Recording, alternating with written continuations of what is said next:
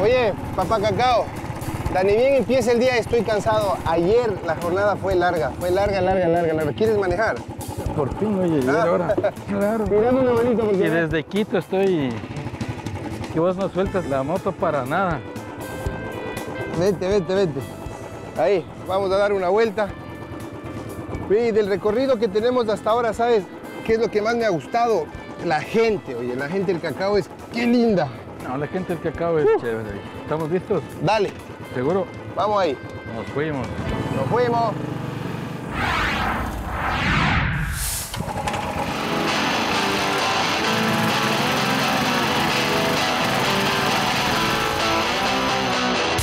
El mundo está lleno de historias que han sido contadas en movimiento.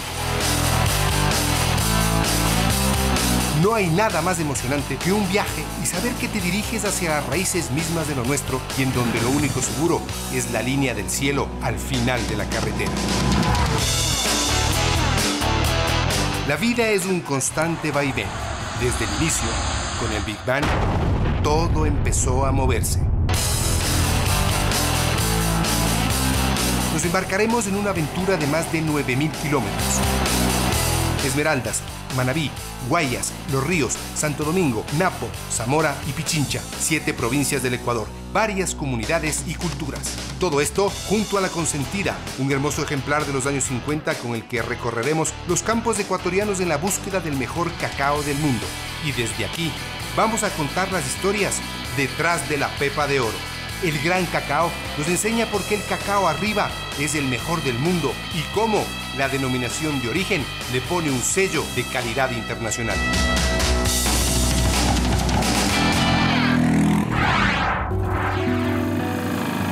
Cuando Jaime me habla de esmeraldas, inmediatamente vienen a mi memoria las imágenes de sus playas y su gastronomía. Me sorprende cuando le escucho decir que la provincia verde se ha destacado mundialmente por ser una tierra donde se cultiva uno de los mejores cacaos del país. De aquí han salido muchas de las pepas que han conquistado al mundo con su sabor. Conoceremos a Nacho Nazareno, un afrodescendiente productor de cacao al que le mueve el aroma de la pasión en su zona verde, su finca, y quien nos recreará con su testimonio al hablar de la responsabilidad de sus árboles. Cuando yo lo veo a los árboles que no están rindiendo, no están produciendo, tengo que darle cariño, pero yo quiero que ellos pues sean siempre responsables conmigo, ¿no? El año pasado, Brasil, Colombia, Perú, Venezuela, Estados Unidos, Costa Rica y Ecuador como anfitrión se unieron en la Cumbre Mundial del Cacao. Si tú fueras mi pepita de cacao, yo sería para ti tu más fiel enamorado, el amor fino. Es una copla en la que se mezclan lo romántico con sentimientos de alguna experiencia vivida. Como bien lo dice su nombre, el amor fino es delicado, amoroso, sensible, conquistador. Y también conoceremos a Eumeni Álava, toda una institución de la cultura manabita, del amor fino. Yo soy producto del amor fino. Y así, nuestro viaje continúa. Seguimos descubriendo un país maravilloso, un país cacautero, un país de aromas y sabores donde existe una pasión infinita por la tierra.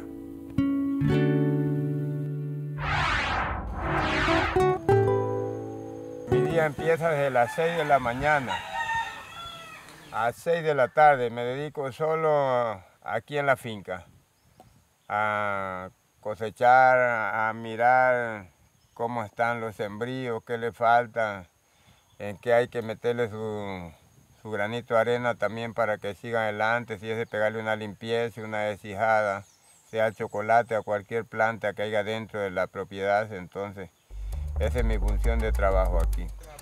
Ignacio Nazareno, más conocido como Nacho, es un pequeño agricultor esmeraldeño que desde hace un año decidió sembrar cacao nacional fino de aroma arriba. Hoy tiene una producción pequeña, pero sabe que con el tiempo sus árboles rendirán más. Serán más responsables, como él les dice entre risas, mejorando así sus ingresos y la calidad de vida de su familia. El proyecto de que tengo pensado es agarrar unos 30 quintales cada 15, porque yo agarro cada 15.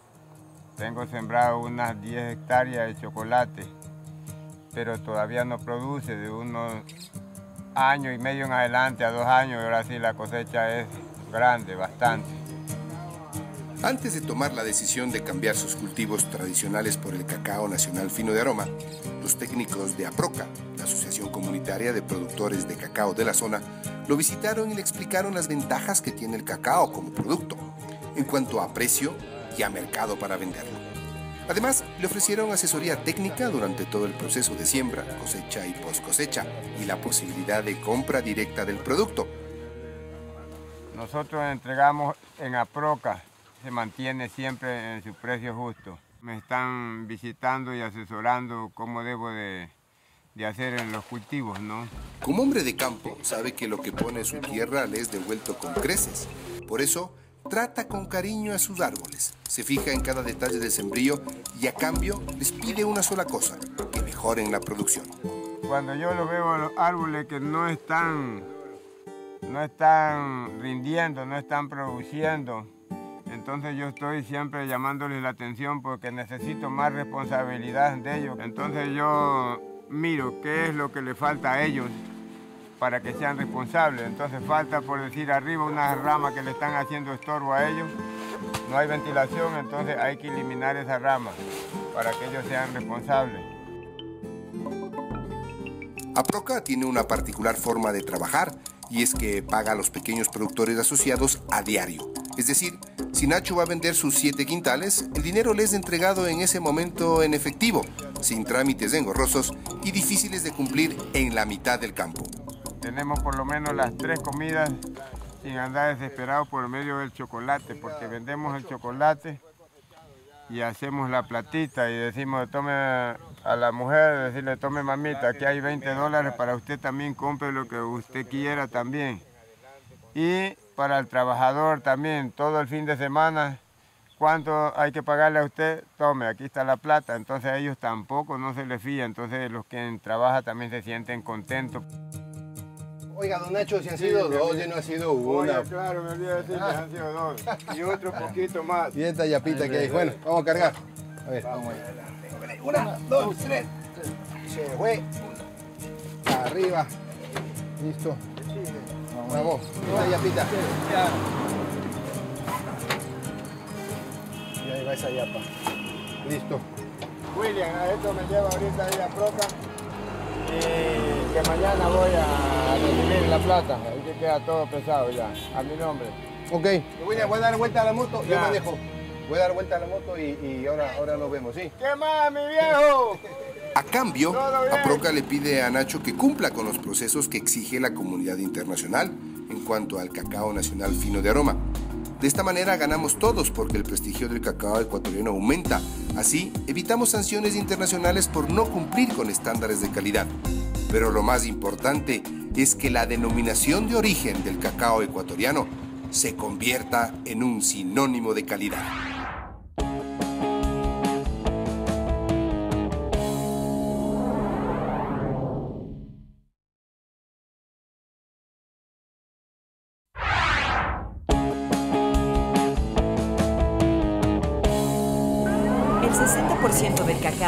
que consume el mundo lo produce el Ecuador.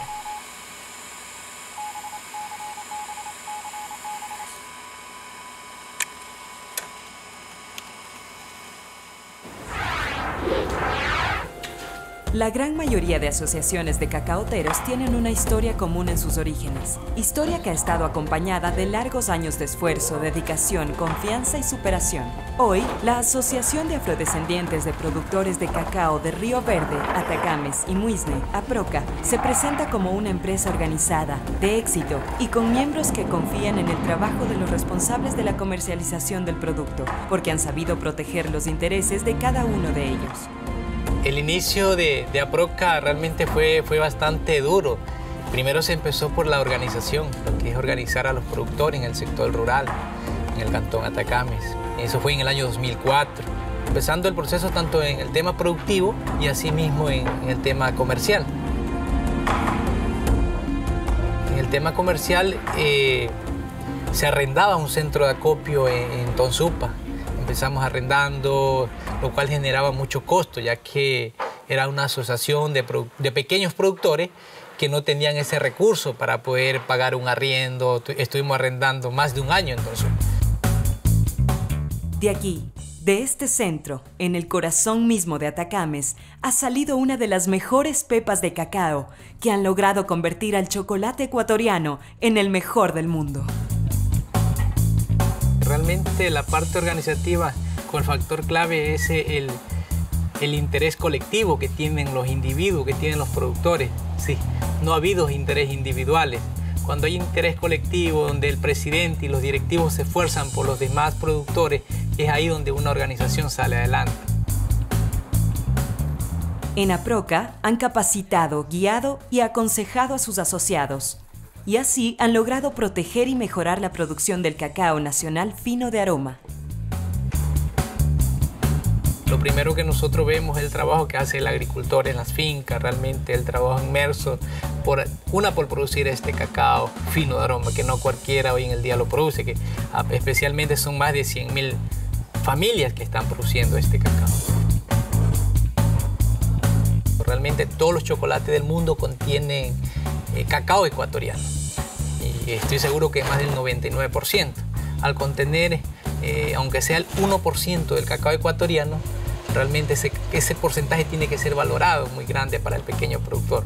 No cualquier persona en el mundo produce cacao fino de aroma.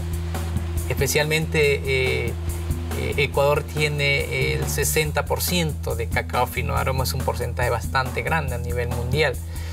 Eh, al introducir este tipo de denominación de origen, realmente el que sale beneficiado es el pequeño agricultor sale beneficiado. ¿Por qué? Porque él es el que produce este, este cacao que es único en el mundo, con un mayor precio, con un mayor valor, porque es allá donde se enfoca el pequeño productor que produce este cacao, ¿sí?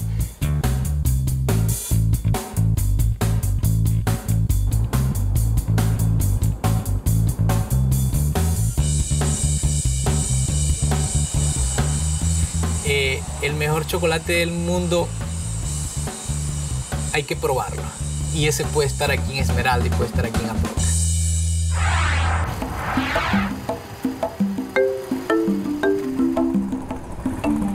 Oye Jaime, ¿sabes que me estaba acordando en el viaje de la música de marimba? Así que con música y chocolate, ¿sabes qué podemos pedir? Comida criolla, ¿qué te parece? ¿Ah? Perfecto. ¿Sí? Sí, es que en torno al cacao, en todas partes tenemos algo. Por ejemplo, aquí en Manabí, las coplas y los amorfinos. Ajá. Vamos a comer. Vamos a comer. No me olvides, no me olvides. Te lo pido, por favor. No me olvides, gran cacao. Te lo pido, por favor. mi compadre que nos estaba esperando hace rato. Qué gusto. ¿Cómo está, compadrito? Oiga, se lo ¿Quiénes somos?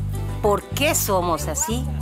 Y nosotros los montubios, cacautero de Manabí, especialmente del Carrizal, somos alegre, generoso. Disculpe, jovencito, no lo había conocido. ¿Es usted soltero? No. Yo soy lo que es mi entorno.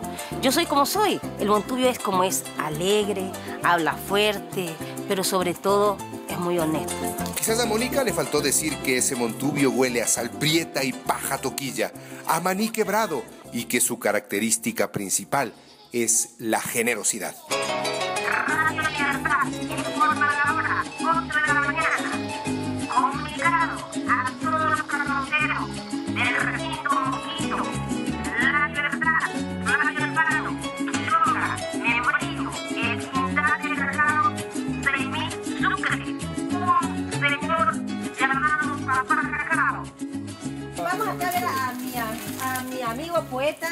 Eumeni, es el que está escribiendo en este momento. Eumeni Álava, además de ser poeta, escritor, es un artista.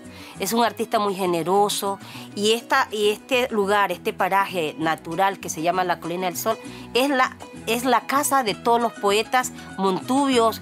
Eumeni Candelario Álava Párraga, como debe de ser. Es el guardián de una tradición oral que ha perdurado durante muchos años en su casa del recinto El Bejucal el amor fino. Clavelito colorado, clavelito carmesí, ni por sueño había pensado que mi amor estaba aquí. Y como mi mamá tenía su... O sea, mi abuelita era muy celosa.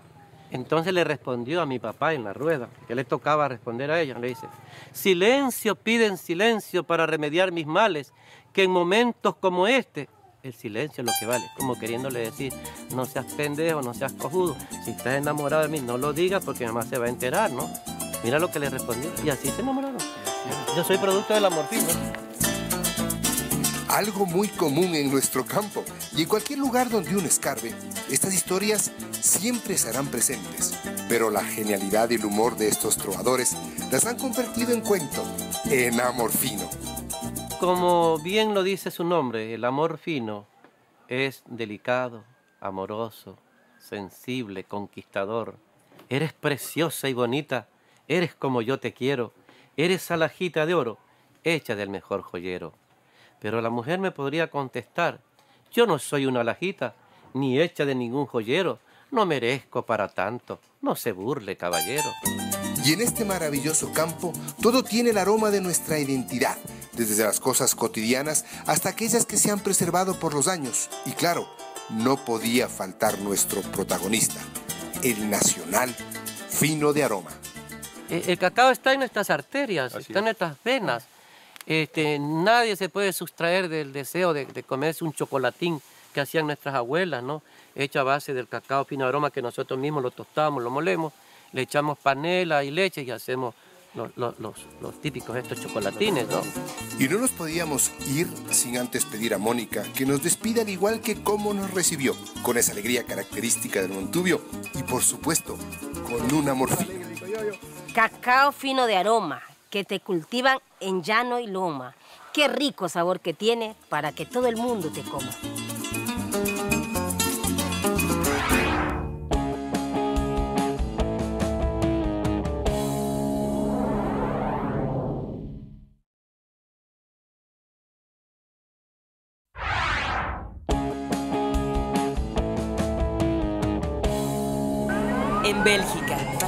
Chocolate sea considerado calidad superior, debe tener como mínimo un 12% de cacao arriba.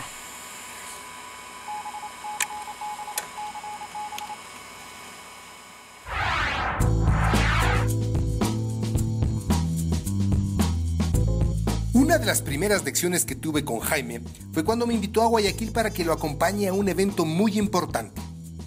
La brisa del puerto principal nos llevó al centro de convenciones Simón Bolívar para asistir a la Cumbre Mundial de Cacao.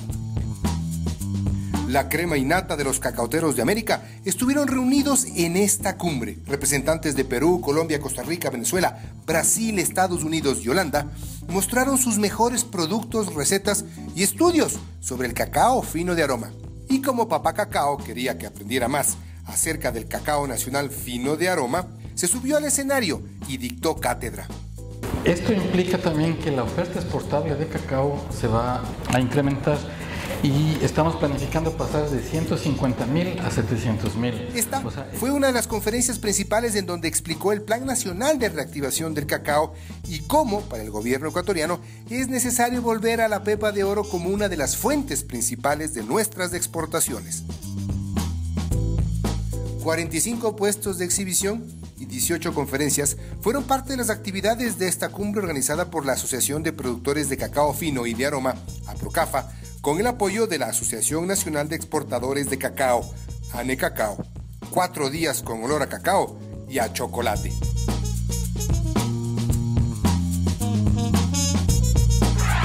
¿Sabes qué? Me he dado cuenta de una cosa, de que el cacao está en todas partes. Hemos visitado unos sitios increíbles, incluso en la bolsa de valores se cotiza el cacao. Ahora entiendo el porqué de la denominación de origen.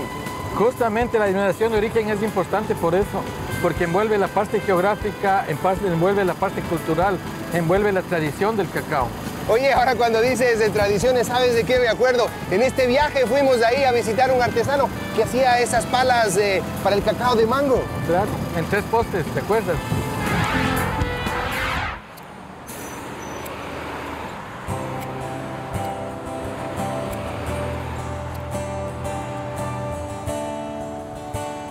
Muchas personas me, me dicen, al final tu profesión, ¿qué es? Artesanía, escultor, carpintero, ¿qué me mueres? Yo le digo, la verdad, la verdad, le digo yo, artesano, porque escultor es un escultor, digamos, el que talla, el que hace cabecitas de animalitos, tallas con diferentes cosas. No, yo aquí soy, digamos, un artesano. Claro que un artesano de montura no se encuentra en cualquier lugar. Soy el único lo que tallo en montura en madera. El único. Hacemos para cacao, para arroz, las palas para ventanas, quevedos, para las zonas de maíz. Sí, la zona de Montalvo, la soya, el arroz. Y la zona de acá de Durán, las importadoras de cacao. Los pedidos siempre están en 15 días, 8 días. Ya los pedidos están adelantados. Voy entregando unos tres pedidos y otros pedidos ya me están llegando o me están llamando. O sea que maestro, hágame, hágame pala, o maestro, hágame montura. Entonces, todo el tiempo trabajo aquí invierno y verano.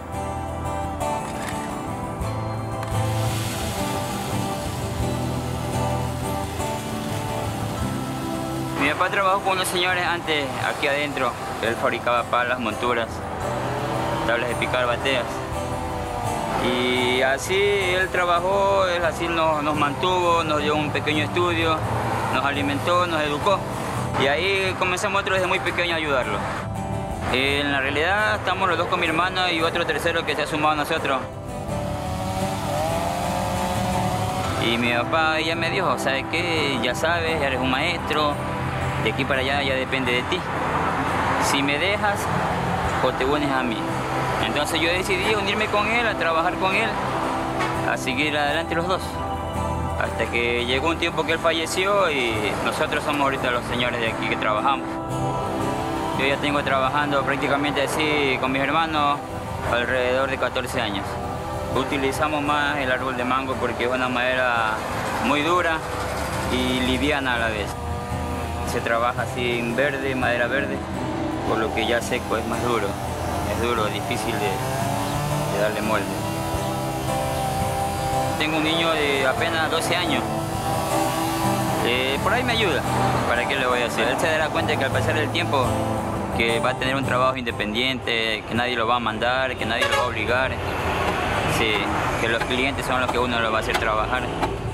A veces vienen los exportadores de cacao de aquí de Durán y como ya lo conocen a uno, entonces lo que ellos lo que hacen es pedirle, ¿sabe qué? Maestro, hágame tantas palas. La diferencia de la pala de cacao que es como, como cuchara, abarca mejor, coge mejor.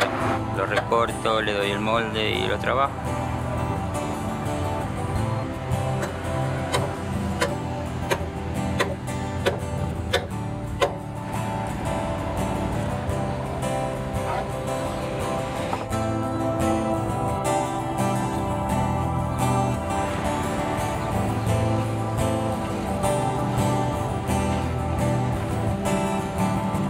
Cómodo, estoy más libre, trabajo. Me gusta esto porque estoy independiente.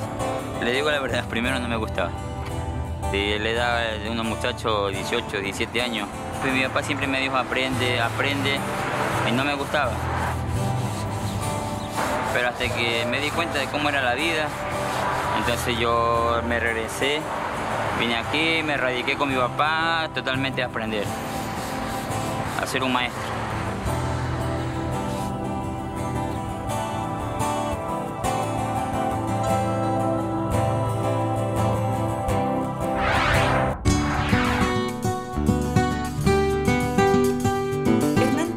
Hablaba así del chocolate. Es la bebida divina que aumenta la resistencia y combate la fatiga. El cacao arriba está representado en la tradición cultural de nuestro país, en los artesanos, en los campesinos, en cómo han transmitido el conocimiento ancestral. El cacao, nuestro protagonista, es un producto que en su mayoría se produce en el hemisferio sur, pero es el hemisferio norte quien más lo consume en forma de chocolate. Por eso nos atrevemos a decir que el cacao quizás no haga girar al mundo, pero sí es el motor que nos mueve en este viaje.